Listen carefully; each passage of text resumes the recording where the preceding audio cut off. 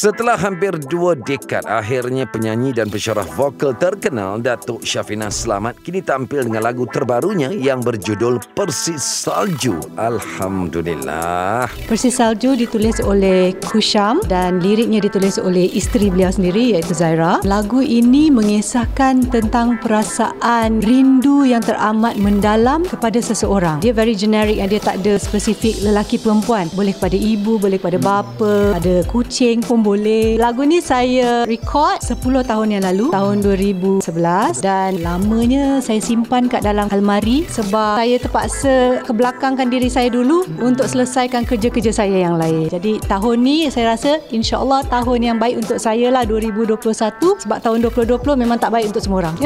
20 tahun tak keluar single. Perasaan seram tu biasa sebab ini adalah cabaran baru untuk saya setelah sekian lama. Nak cakap tak biasa menyanyi, lebih kurang setahun jugalah. Kita tak menyanyi nyanyi sebab pandemik kena duduk rumah kan saya rasa teruja pun ada nervous pun ada. Semua perasaan tu bercampur baur tapi interesting lah. Orang di luar sana yang tak tahu Datuk Syafina ni merupakan seorang penyanyi soal ketika dahulu dan kini dah kembali. Dan apa komen kepada orang-orang yang tahu Datuk hanyalah sebagai seorang guru vokal dan komen Datuk Syafina sendiri? Ah, memang ramai anak muda yang tak sedar saya sebenarnya pernah menyanyi pernah rakamkan album. Sebab 20 tahun tu bukan waktu yang pendek lama. Saya tak heran pun kalau orang tak sedar saya ni bukan penyanyi. Saya rasa sesuai lah masanya untuk saya keluar balik dan kenalkan mengenalkan semula diri saya sebagai penyanyi. In fact, ni macam rebranding sebab muzik saya dulu pun tak sama macam muzik saya sekarang. Untuk mereka yang tak tahu sama ada saya penyanyi atau tidak, I'm back!